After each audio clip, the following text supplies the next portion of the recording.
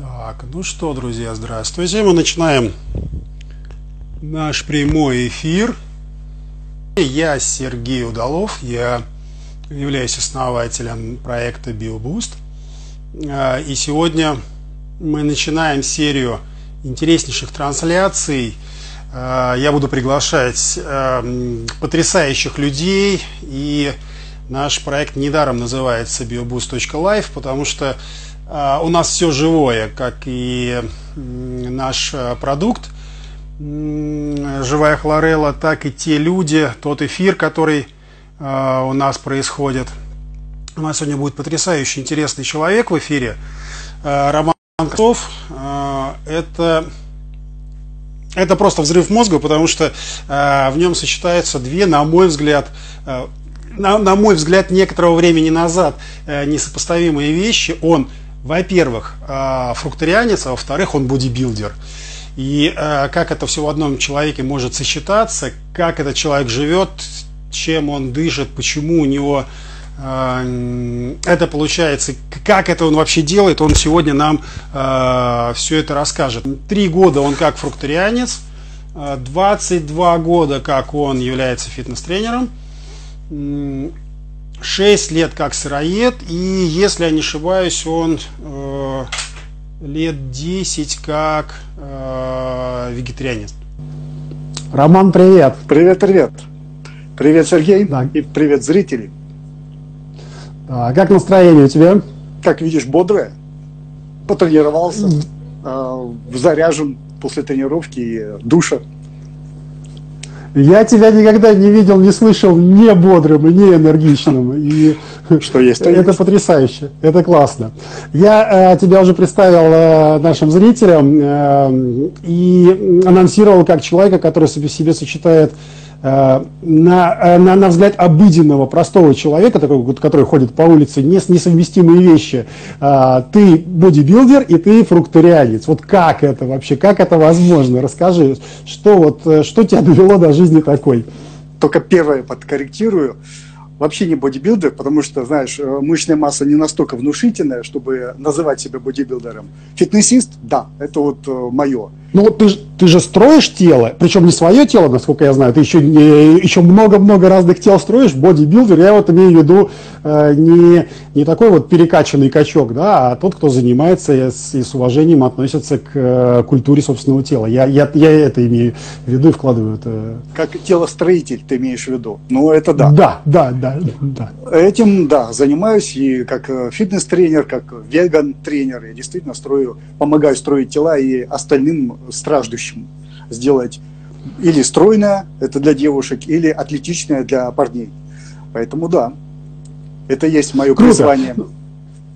А расскажи про фрукторианство, потому что, вот, на мой взгляд, фрукторианство э, это, условно говоря, вершина айсберга, это крайняя точка такой э, аскезы в еде. Сначала люди начинают себя ограничивать в мясе, потом избавляются от молочки, э, потом э, перестают термически обрабатывать э, пищу, ну и в конце концов доходят до, до крайней степени, до фрукторианства. Вот твой путь, почему ты его прошел, как это было, расскажи.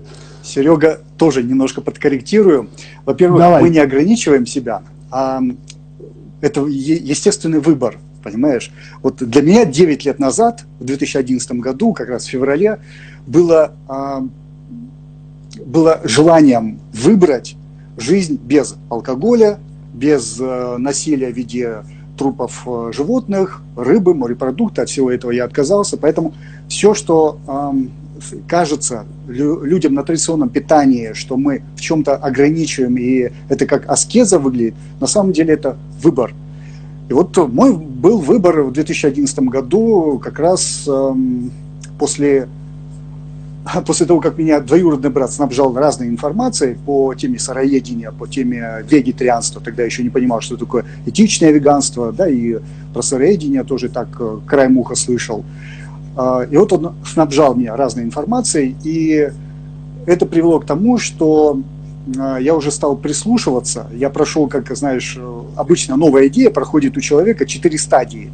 А, стадия непринятия, стадия насмешки, стадия, как я это называю, ага, а в этом что-то есть. И четвертая стадия, когда человек принял решение разбираться и в своей жизни это применять. И вот э, четыре года способствовало тому, что я впитывал, впитывал эту информацию, а потом бамс, и всего лишь одна фраза, всего лишь та фраза, которую я думаю, что мало кого зацепит, э, из книги «Монах, который продал Феррари», Робин Шарма написал, если вы хотите искрящейся жизни, вот как видишь, да, из меня фонтанная эмоция исходит, поэтому э, вот в этом смысл жизни, чтобы искрить идеями, эмоциями, вот в этом радость жизни должна заключаться. Да, и по-настоящему, я думаю, именно такой счастливый, гармоничный внутри человек будет. И вот если вы хотите искрящейся жизни, вы должны питаться живым питанием. И тут до меня дошло. А ведь однозначно, то, что убито когда-то человеком на скотобойне, либо в сетях, я имею в виду рыбу, морепродукты, а, когда вылавливают, то, что было убито, ну, явно не, при, не является живым питанием и не принесет э, на, нашему телу такую пользу и э, жизнь. Поэтому вот накапливал, накапливал, и тут одна фра- фраза из книги «Бамс» и сменила мой вектор мышления по отношению к питанию. Хотя я ведь как тренер, знаешь, преодолевал очень много в себе. Даже первые годы я не смог так отказаться от э, яиц и молочных продуктов. То есть я был овалакто вегетарианцем первые четыре года. Вот, э, только спустя третий год я избавился от э, пристрастия к омлету и так далее, и потом уже э, яйца, то есть молочку стал убирать, потому что для меня стал важен этичный момент в жизни. Ну, то есть я уже к этому году, а именно 14-15 годы, я стал понимать, что также и носить кожу, мех, Э, посещать цирки, зоопарки, э, дельфинарии, то есть э, любые места, любые продукты, в которых так или иначе используется жестоко эксплуатируется любое живое существо, это точно не гармоничная жизнь. То есть жить за счет эксплуатации, за счет смертей других существ, ну, не является благостным благостной деятельностью. Вот, и поэтому, если очень коротко очертить, и я сейчас, знаешь, постарался очень бегло пробежаться по идеям, почему я э, отказался от э, данных продуктов. Так мой творческий путь, и точнее питательный путь, он выглядел так. 2011 я становлюсь оволакто-вегетарианцем, 2014, а, а я отказываюсь от яиц и просто становлюсь э, лакто-вегетарианцем, хотя, знаешь, одновременно в 2014 году, тоже, по-моему, в феврале, э, на меня как-то очень резко одна статья произвела впечатление, ну, тоже, я думаю, что это накапливая издания, и одна статья, э, где рассказывалось о том, что в живом питании, то есть в растительной пище имеются ферменты, энзимы, которые помогают аутолизу, то есть самоперевариванию. И именно это э, дает нам жизнь. Я вдруг понял, что это также нужно применять э, в своем питании и стал убирать э, варенку. Вот почему от яиц я отказался, ну и, э, и так далее. Но э, идея, как для тренирующегося, для наращивающего мышечную массу, идея, что белок нужен в больших количествах, не оставляла меня, поэтому я еще упивался творогом и э, там, протеином. Э, ну, точнее, у меня было функциональное питание, функциональное питание в виде energy diet, может быть, кто-то знает. И э, поэтому молочка еще до конца 2015 года меня, до середины 2015 года еще меня немножко держала. Вот. Но с середины 2015 года, особенно там после попадания в больницу из-за там вырез, вырезали аппендицит, э, я понял, что нужно э, по-настоящему грамотно, так сказать, относиться к своему питанию. И целиком полностью перешел на сыроедение. Вот. И полтора года я примерно находился на сыроедении, и в конце 16 и в самом начале 17 снова одна книга, информация из книги диета 80-10-10 доктора Дугласа Грэма дал, дала мне возможность э, увидеть, что, а, я люблю фрукты с детства, фрукты и ягоды я просто обожал, там, знаешь, залез в детстве на черешню, и пока не наполнишь живот и бидончик, оттуда не слезешь. Ну и точно так же э, груши я любил в детстве, дыни, арбузы. То есть я всегда любил сладкое и э, всегда хотелось вот такого сочного. Поэтому эта книга помогла увидеть, что это э, то, к чему я стремился еще в детстве. Но потом, знаешь, э, питание родителей, питание в школе, там, уни университете и Э, на работе, тем более фитнес-среда, они, они нас отдаляют от того, что по-настоящему хочет тело. И вот с 17 года, с самого начала 17 года я перешел на фрутарианство. И сразу поясню, что такое фрутарианство. Это не как э, многие думают, только лишь фрукты есть, тем более только лишь сладкие. Э, фрутарианство, оно ведь зародилось еще в 70-х годах в Штатах, и э, оно подразумевает э, под собой употребление плодов и зелени, то есть фрукты, ягоды и зелень. Некоторые э, плоды, ну, например, помидоры, огурцы даже, у нас в России принято считать овощами. Но это именно наше и такое в обиходе. Привет, Давид, вижу машет рукой. Краснодарский край присоединился – и э, помидоры, например, вот как не особенно сладкие да, плоды, я не, не всегда любил. Поэтому мой стиль питания, он немножко отличается от э, некоторых других э, фруто, фруктоедов и фрукторианцев. Поэтому... Это разные понятия? Для меня, да. фрукторианцы? Для меня, да. То есть, на мой взгляд... Ты поясни нашим зрителям, чем, чем отличается? Да, с удовольствием. Я же и ставлю вот э, целью все мои посты и прямые эфиры – оповещать людей. Почему не только я пришел, это наверняка должно навести людей на их размышления, да, подтолкнуть более чистому питанию, более живому, естественному питанию. Об этом, я надеюсь, ты еще мне задашь вопрос, почему именно фрутарианство. Да? И а, что-то фрукто, что такое фруктоедение? Вот самый типичный пример фруктоеда – это Андрей Счастье, который еще, наверное, с 2000 ну, десятого это питание. И вот там как раз-таки в основном сладкие плоды. Правда, он молодец, он стал э, глубоко копать и в то, какие плоды, какое влияние оказывают на наше здоровье. Например, он отказался от бананов, он заметил, и я впоследствии тоже, что бананы, например, часто приводят к, а, да просто к прыщам, к воспалению на коже. Вот. И это Причина здесь, причин здесь несколько. Во-первых, можно я отвлекусь с темы фрукторианства на, э, давай, давай, давай. то, что собой представляет плоды. Что такое бананы? Их срывают зелеными.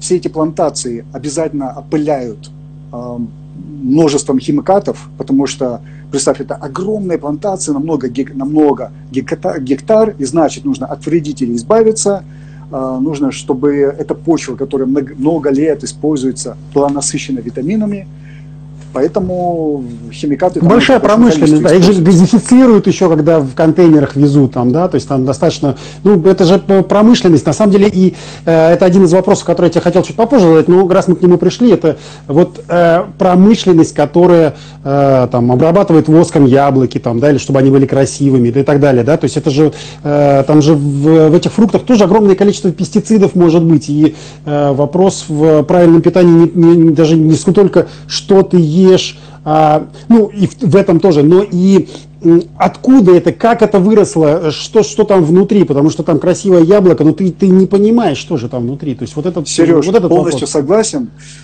И э, ты знаешь, хороший вопрос, но давай его оставим на чуть позже. Держи его в голове, и пусть зрители также будут добро, держать в голове. Добро. А, так вот, а, фишка в чем? Давай так, к бананам тоже мы тогда вернемся.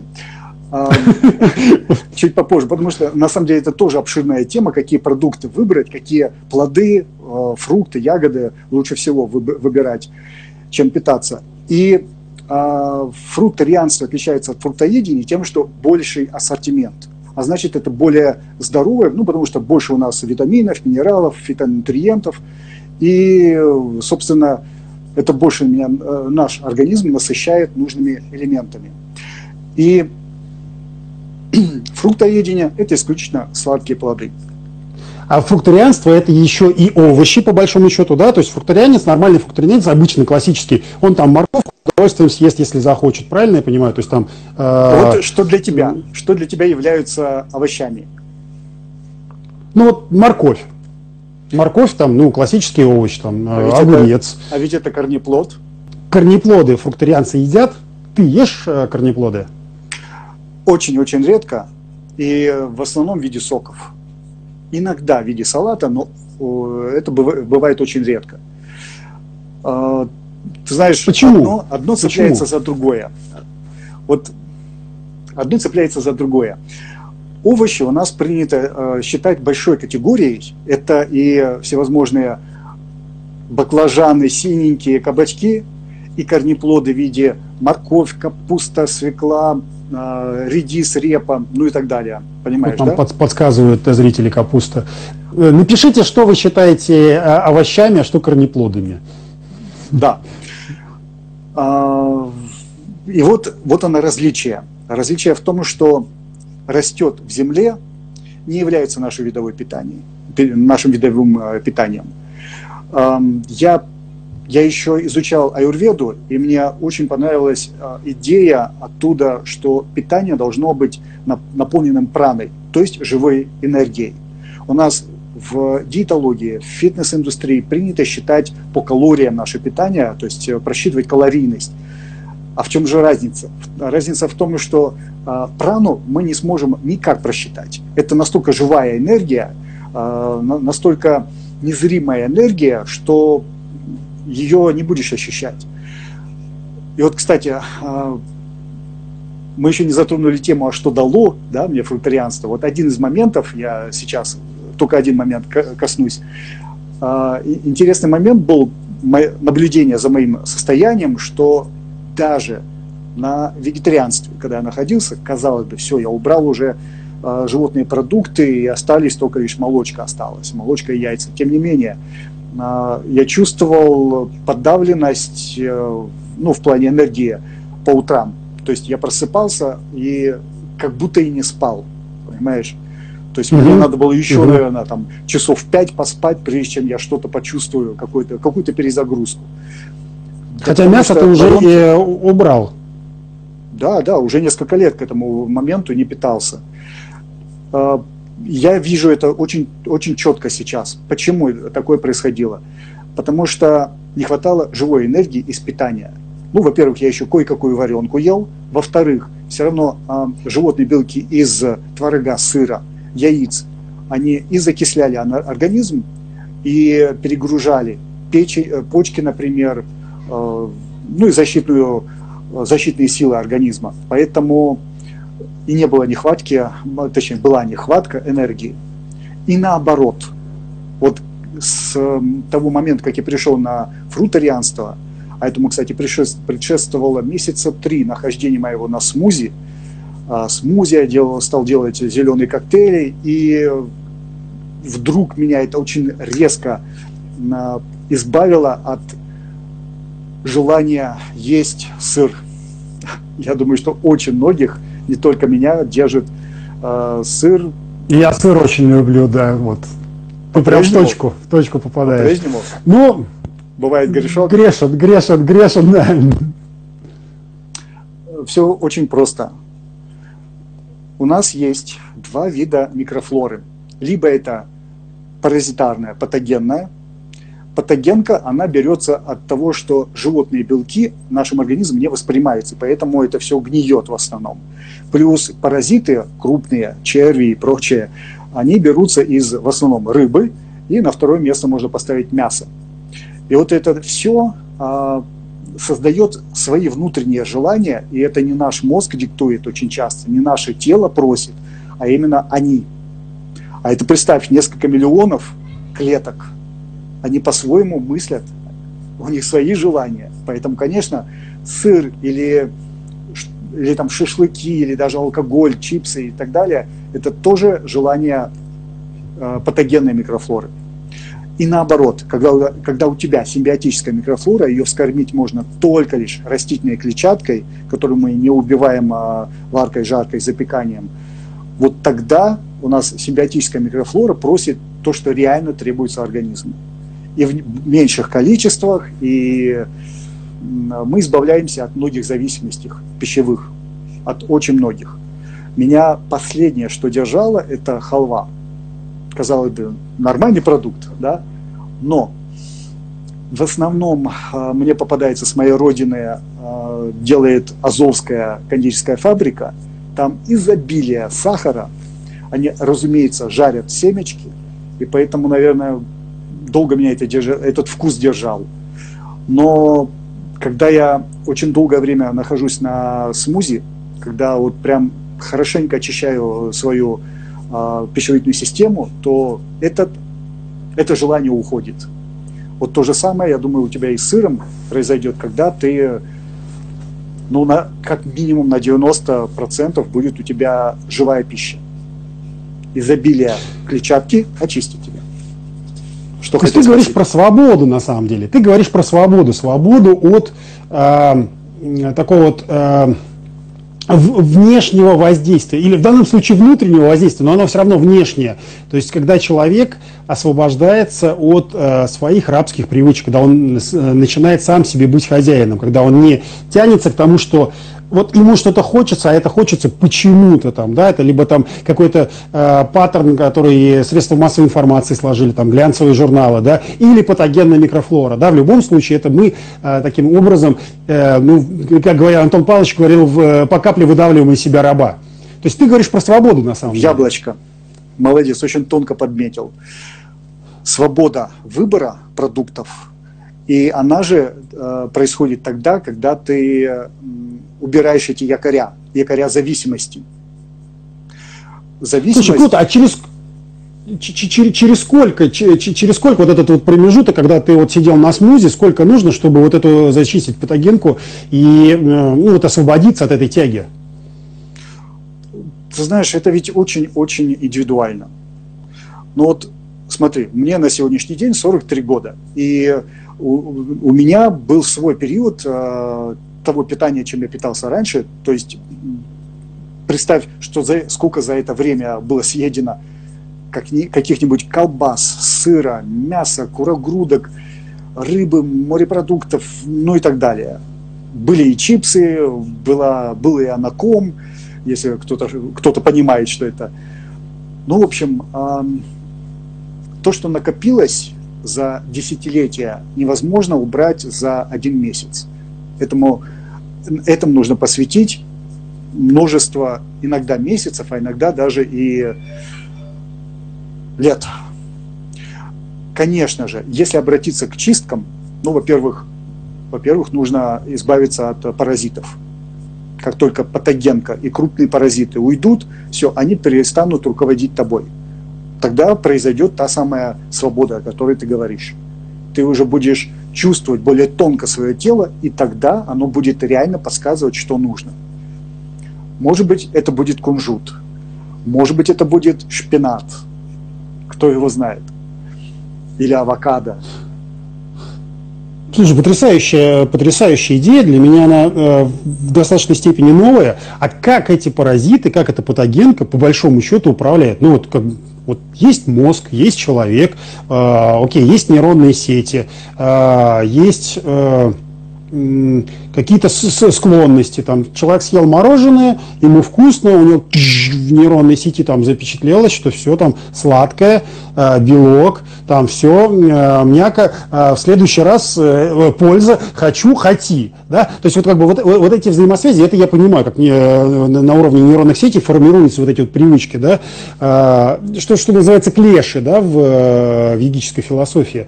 А, а как паразиты могут дергать за ниточки человека, как они могут хотеть вместо человека. Вот как раз сейчас присоединилась Эльвира, и ты задаешь вопрос, а я э, Привет. думаю про себя ответ. Да. И Эльвира сейчас поддержит меня, она поймет, о чем я говорю. на сегодняшний день, вот спустя 9 лет моего безмясного питания, а, я ведь стал изучать не только просто нутрициологию, просто диетологию. Угу, угу. Я очень часто говорю о том, что с питанием начинаются многие преобразования в жизни, в сознании. Очень многие. Вот чисто технически я не смогу тебе ответить, почему. Привет, Денис. Э, чисто технически Привет. я не, могу, не смогу тебе обосновать, почему происходит желание э, нашей, наших внутри, внутренних микробов, да, а, паразитов а, через мозг, как они могут э, нами управлять, руководить. Прикинь, мы, получается, марионетки в их лапках. Вообще, как это, это может просто происходить? безумие, да. Но вот э, есть еще одна эзотерическая тема. Смотри, одно дело, одно дело микробы, по-своему где-то вирусы, хотя э, ученые считают на сегодняшний день, что это не несмышленные создания, то есть они э, внутри клеток э, живут. И это все-таки не, не, отдельные какие-то живые э, существа, э, как, например, дрожжи. И вот смотри, грибки, крупные черви, очень мелкие клетки в виде патогенных бактерий. И плюс еще добавь сюда сущности. Вот я очень долго к этому вел. И представь, э, есть еще нечто эзотерическое, сущности, когда вселяются в человека, как, ну, например, Вадим Зеланд именует их эгрегорами, а, в разной культуре, в разных, у разных авторов это по-разному именуется. Ну, я надеюсь, что большинство из наших зрителей, а я вижу, кто присоединяется, например, Дмитрий Лапшинов, очень рад э, Лапшинов, прошу прощения, также присоединился, он точно поймет меня. Есть сущности, которые также способны руководить нашими желаниями. И это касается и секса, и это касается алкоголя, покурить травку, ну, покурить кальян, съесть шашлычок, ну и так далее. И, в общем, свои методы расслабления, в кавычках. В общем, а, нами столько руководят как материальных объектов, так и энергетических, что очень сложно мне обосновать тебе сегодня. Я ведь тоже только-только изучаю эту тему. Но факт остается фактом. Мы марионетки, точнее так, если еще копнуть выше, а, есть ведь у нас даже несколько тел. Вот ты наверняка слышал астральное тело, да, о таких Да, вот конечно, тел. конечно, конечно, да. Вот, а таких тел у нас тоже несколько, и это тоже создает определенную несвободу от определенных ну, материальных соблазнов. Я не смогу тебе механизмы объяснить ну, сегодня, на сегодняшнем своем развитии, но я абсолютно уверен, что мы, не, мы очень не свободны. В этом материальном мире мы очень не свободны. Поэтому наша ну, душа, ну, есть... пока погрузилась в этот э, скафандр, вот под названием, человеческий скафандр под названием Роман Кравцов, я точно еще не свободен от определенных. Я вижу, что я освобождаюсь, и это происходит благодаря растительному питанию, в том числе плодам, потому что я бы, кстати, подкорректировал еще один Привет, момент.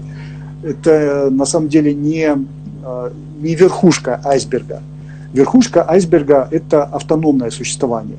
Вот опять же, Дмитрий Лапшинов, он э, знает, что такое быть на праноедении, и это вот как раз – вот она наибольшая свобода жизни вот в этом теле от многого того, что окружает нас в материальном мире. Правда, в этом случае есть риск э, совсем улететь, ну, в эзотерическом плане. А я думаю, что мы в этих телах, именно вот родившись у определенных родителей, у, в определенном теле, мужское, женское, с определенными чертами, брюнет, э, э, рыжий и так далее, и так далее – это все тоже неспроста. Поэтому это стоит изучить, понять себя и держать вот эту взаимосвязь душа и тело. Вот тогда, когда мы слышим душу, когда мы слышим тело, вот тогда происходит гармония. Класс, слушай, ну то есть получается, что э, ты э, проводишь некие эксперименты, ты ставишь некую гипотезу, фактически это ну как на, научный путь, да, э, путь э, к э, эзотерике ты применяешь путь э, гностика. А, ты э, какую-то гипотезу, ее проверяешь на себе, чувствуешь, что да, работает, понимаешь, что да, это классно, дальше идешь этим путем. А ты, ты принял гипотезу, что вот первое, насколько я помню, вот вегетарианство, вот как я понимаю, два, два триггера срабатывают. Первый момент – это эгоистический, что я хочу, чтобы мне было классно.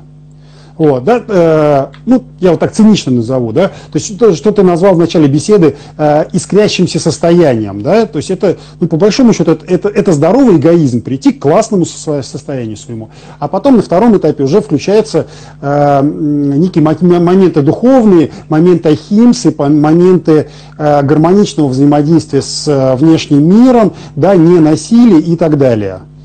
А, и вот сейчас ты прошел до пути фрукторианства, а, следующий путь, э, следующая ступенька. Но я, я вижу, что ты не останавливаешься. Вот. Э, это про наедение. Это вот э, у тебя есть такая цель? Ты как-то пробуешь, ты экспериментируешь с этим? Вопрос отличный. На самом деле у меня не было экспериментов.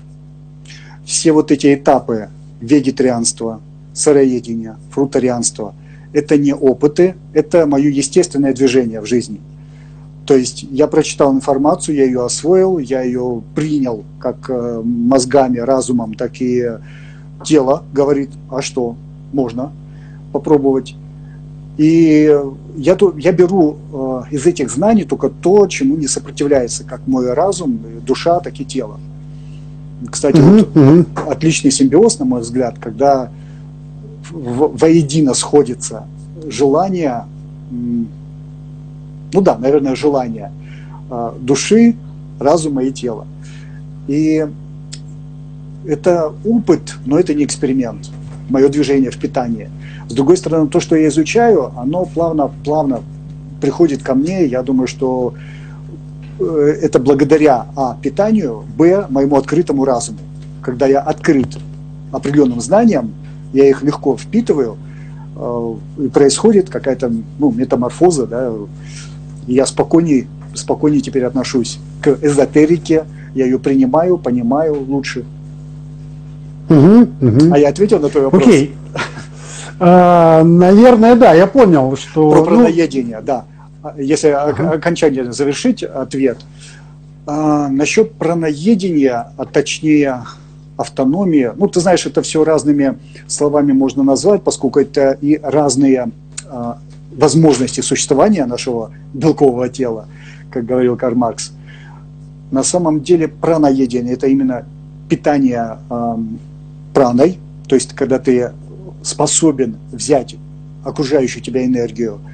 Неедение, оно же как голодание, это некое такое небольшое насилие, что ли, над телом. Вот это вот аскеза, это аскеза. И что мне близко сейчас уже автономия – к чему я пришел на сегодня, на сегодняшний день. Я могу легко несколько часов утренних обходиться без еды. И вот это вот, э, я думаю, что первый маленький, конечно же, шажочек в сторону автономии.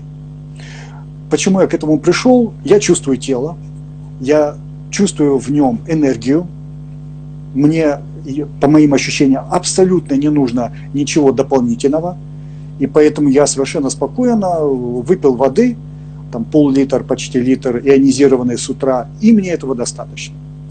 Я вижу, как нормально реагируют мышцы, мышечные волокна не распадаются, возможно, это уже привычка тела, и нет э, желания там, от, от желудка, поэтому у меня все естественно и плавно. Я никогда себя не заставлял, никогда не заставлял, вот обязательно нужно отказаться там, от, вначале от мяса или от э, рыбы, от сыра и так далее.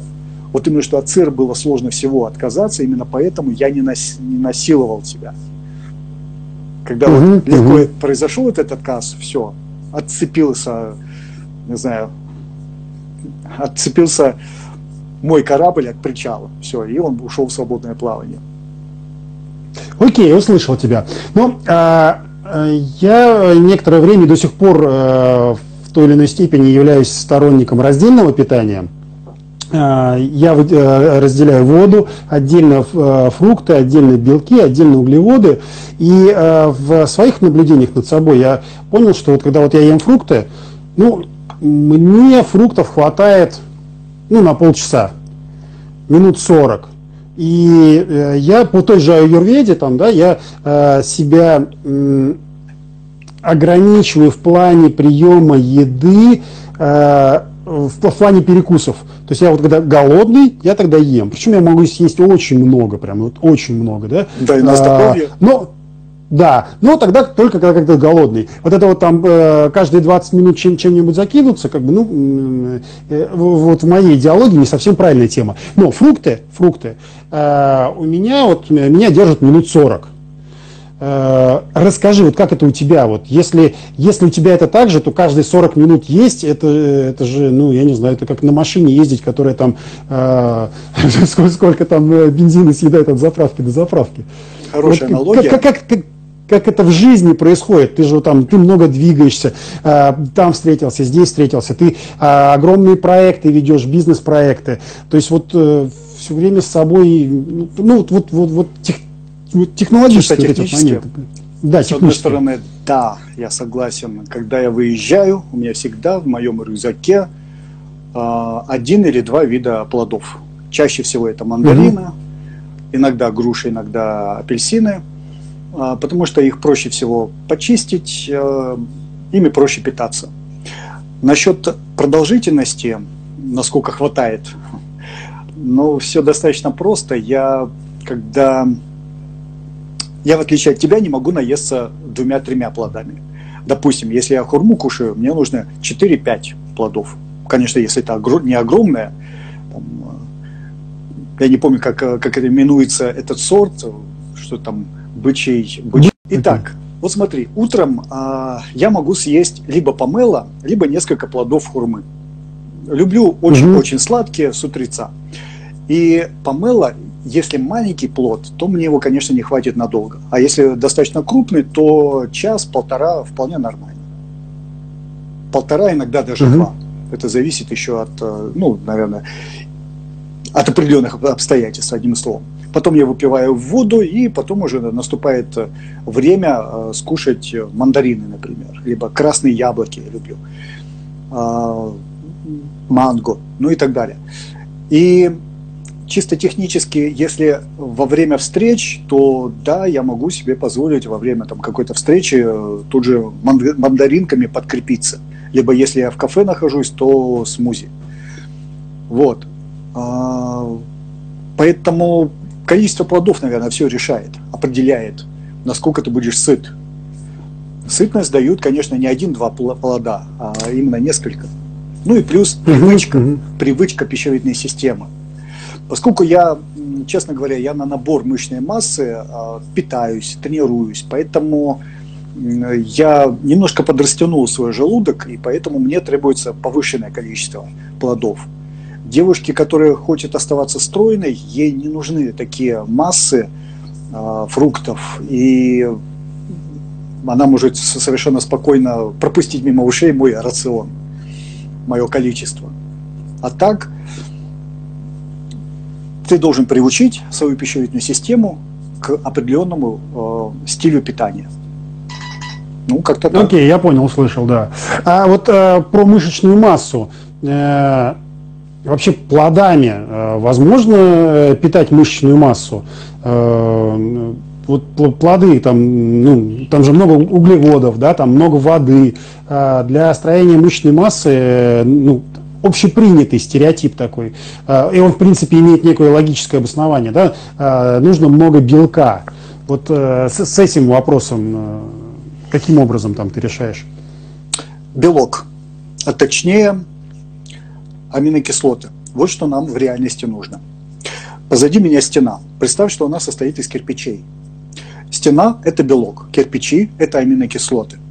Соответственно, нам не нужно э, на стройку привозить, э, ну не всегда это практикуется, готовые стены. Иногда они могут просто не подойти под планировку. Вот то же самое с нашим организмом, э, который э, делает так, когда, он ест, э, когда человек ест э, какую, какую-либо животную пищу, тем более э, мясо, которое состоит из волокон, ему приходится расщеплять, во-первых, эту тяжелую структуру волокон с жиром, во-вторых, расщеплять этот готовый белок на аминокислоты, то есть на составляющие, и потом из них заново составлять белок.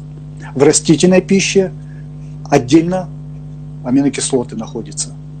То есть организм в первом случае, в первом варианте очень много усилий э, производит, очень много биохимических реакций, на это все энергия уходит. Вот почему один из моментов хочется спать э, мясоедом.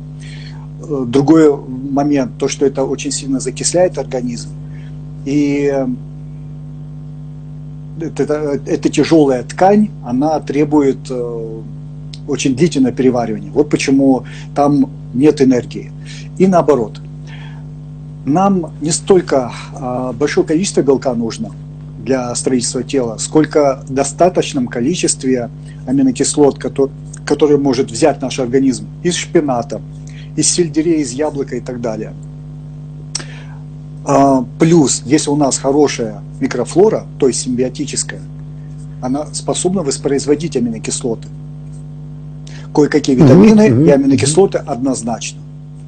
У меня есть э, хороший друг, замечательный э, тренер э, Леша Кушнаренко. Так вот, он, э, в отличие от меня, например, он может не, не питаться протеином, растительный, конечно же, он э, использует пранаяму, то есть какие-то дыхательные определенные э, упражнения, практики. И, ну, во всяком случае, для йоги это номер один.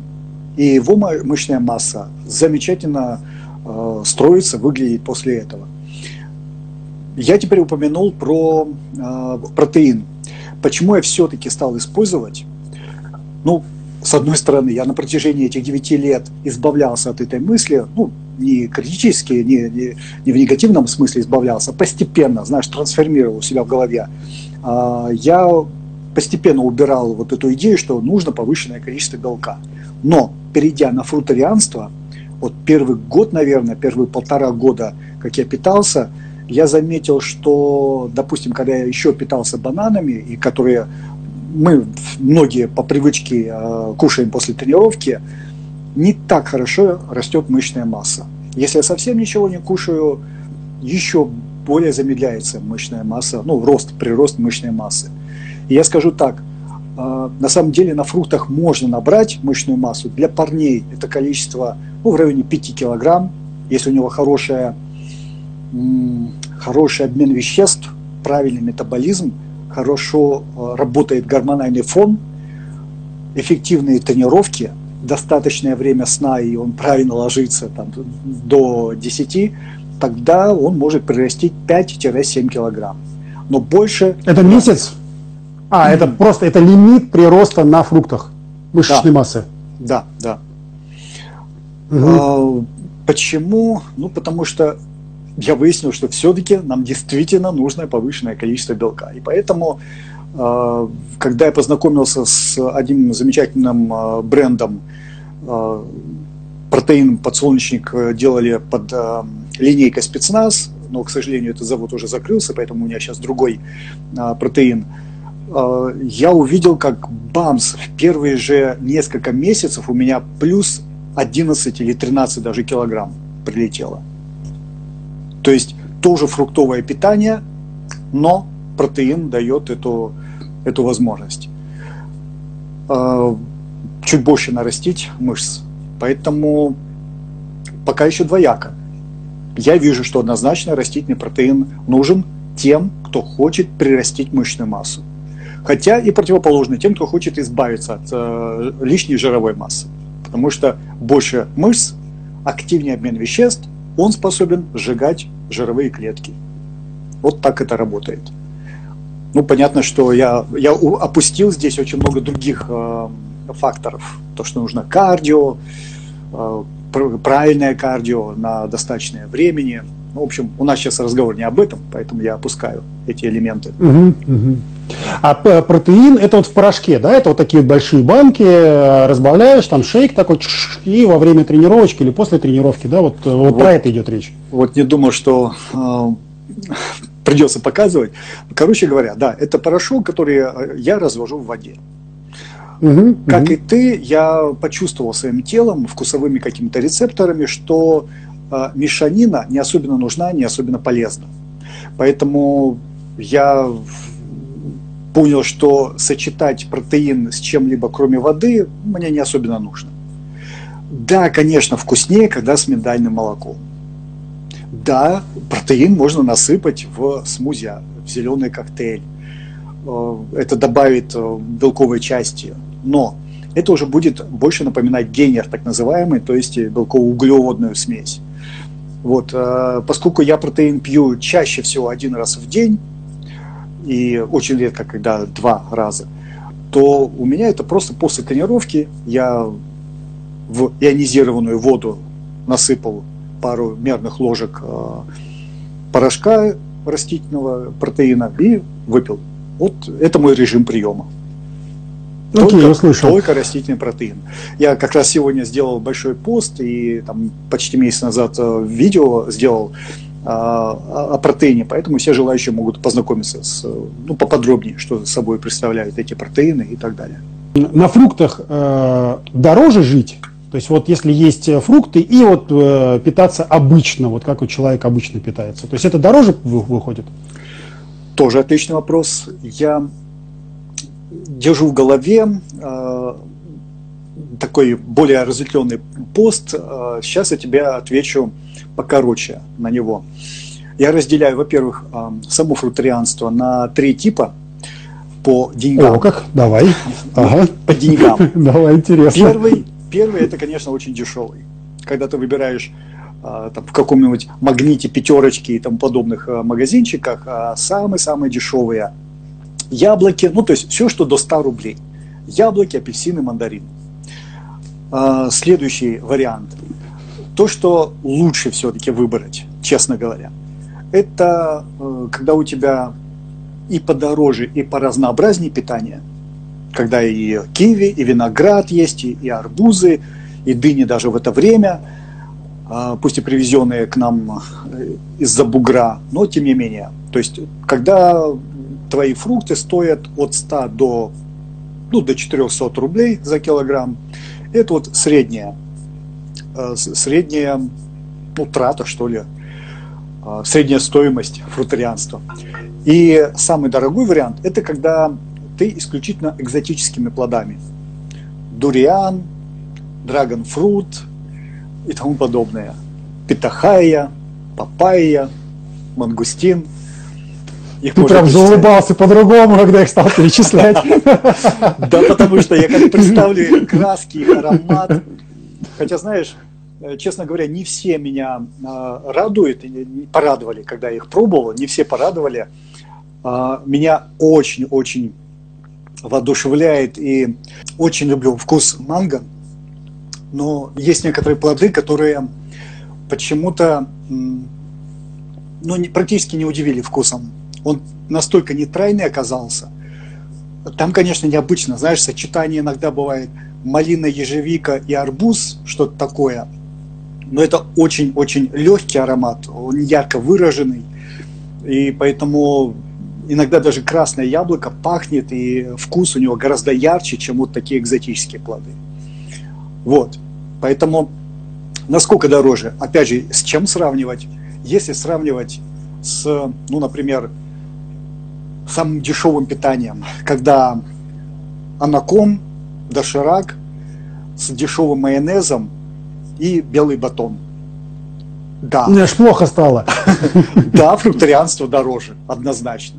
Если сравнивать с питанием там, э, очень серьезным э, фитнес-питанием или питанием в ресторанах Новикова, то гораздо дешевле. Окей, услышал. Роман, а расскажи, пожалуйста, еще вот такой момент. Э, ну, понятно, это вот такая вот известная штука, что сыроедение, такой постулат – сыроедение, оно опасно в связи с тем, что организм недополучает определенные важные э, составляющие, которые должны приходить из питания. Там э, микроэлементы, витамины, там тот же B12, омега и так далее.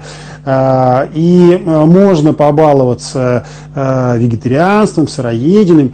Так, я так не, не, несколько такой провокационный тон веду, хотя сам ну, Давай, все, давай, знаешь, да. Вот. А, соответственно, нужно как-то это восполнять. Вот мы, собственно, и свои там исследования вели, и я вот публиковал и мировые исследования про B12 и так далее, каким образом он происходит. Вот э, твои опыты, твои эксперименты, ты ну, употребляешь какие-либо там э, добавки, там, э, э, синтетические, не синтетические, там, вот тот же B12, э, синтезируемые, там, то есть вот э, в твоем рационе э, есть ли какая-то таблица, и ты понимаешь, что окей, вот столько-то миллиграмм мне нужно добирать, потому что я не, недополучаю это э, как мясоеды, то есть вот ты, ты такие таблицы ведешь, вот ты вот э, как, как с этим вот работаешь? Я понял, не удлиняй вопрос. Серега, Погоди. на самом деле ты озвучиваешь правильные вопросы, и они от многих людей исходят, а, поэтому хорошо, что ты в одном эфире их Так задал. я для многих людей задаю это. Смотри, на самом деле, даже на фрукторианстве, тем более, когда сыроедение грамотное, а, не просто на орешках, да, и на там, авокадо слишком жирное или только лишь на крупах, а когда сыроедение или там фрукторианство очень э, разветвленное, то все абсолютно элементы имеются, абсолютно все. Наоборот, это на всеедение, на, на ну, когда у человека и мясные продукты, и субпродукты превалируют, то он э, будет недополучать, потому что в основном витамины, минералы, они находятся в растениях. Вот просто если эту логическую цепочку развить, человек ест корову, мясо коровы, труп коровы, да, давай называть э, своими именами вещи, э, для того, чтобы получить оттуда какие-то элементы. Но она же ест траву, то есть она является посредником в питании такого человека. Нафига иметь такого посредника, который сокращает жизни и создает болезни. Поэтому напрямую лучше получать из э, растительной пищи. Понимаешь, да?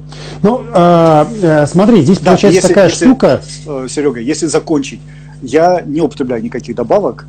B12 способна синтезировать наша микрофлора, особенно если, ну вот, я здесь, правда, такое не, не очень хорошее исключение, особенно когда есть действующий аппендицит, работающий, то наша симбиотическая микрофлора все создает как нужно. Поэтому ни B12, ни других витаминов я не собираюсь употреблять. А, тем более все мое состояние показывает, что все прекрасно со здоровьем. Другим я могу сказать так, когда на первых месяцах, первых годах человек переходит на вегетарианство, на веганство, на сыроедение, да, он может, потому что там на его раннем питании мог сформироваться определенный дефицит определенных элементов. Но, повторюсь, все абсолютно элементы, витамины, минералы однозначно, и тем более фитосоединения, которые только в растительной пище, которых не бывает в яйцах, молоке и э, трупах животных. Это все можно получить только из плодов, зелени, морских водорослей, до орехов, семян, если человек еще не может от этого отказаться. Угу. Окей, услышал. А, есть такой, такой стереотип, опять-таки, есть некое такое а, утверждение, что человеку а, максимально, вот, вот ему заходит та пища, которая произросла в том же регионе, в котором он и живет. И поэтому вот когда ты говорил про а, третий уровень такого luxury фрукторианства с, а, с фруктами из там Тая, допустим, да, угу. а, то насколько вообще это гармонично заходит а, человеку, который проживает в средней полосе и вот э, или вот на, на себе я не считаю, вот это вот все? Я не считаю, что наша пищеводная система будет э, воспринимать только лишь яблоки, которые произросли в Краснодарском крае, но не примет драгонфрут, который в, Тае, в Таиланде или Вьетнаме растет. Я не считаю. потому что скорее не примет животную пищу и будет со временем э, болезни в таком организме произойдут, но все плоды в любом случае хорошо примутся. Тут главное, чтобы, вот тут как раз мы подошли к качеству плодов. Тут главное, чтобы эти плоды были хорошего качества, что тут э, рассусоливать. Я, наверное, очень коротко тебе ответил. На самом деле наша пищеварительная система, она заточена под плоды в большей степени, чем под что-либо другое. И смысл фрукторианства, а, очень рекомендую прочесть книгу «Диета 80-10-10», как раз в этом. Мы глазами уже начинаем кушать, так сказать. И яркие цвета плодов, даже помидор красный, он привлекает наше внимание. Не говоря уже, вот сейчас я наверняка буду произносить названия, и все будут слюнки глотать, потому что вспомните, как выглядит малина, какая она на вкус, клубника, пахнущее яблоко, а, пахнущая манго, конечно же, дыня, арбуз, понимаешь? Ну, арбуз, наверное, и дыня а, здесь особняком стоят, но в основном то, что растет на деревьях,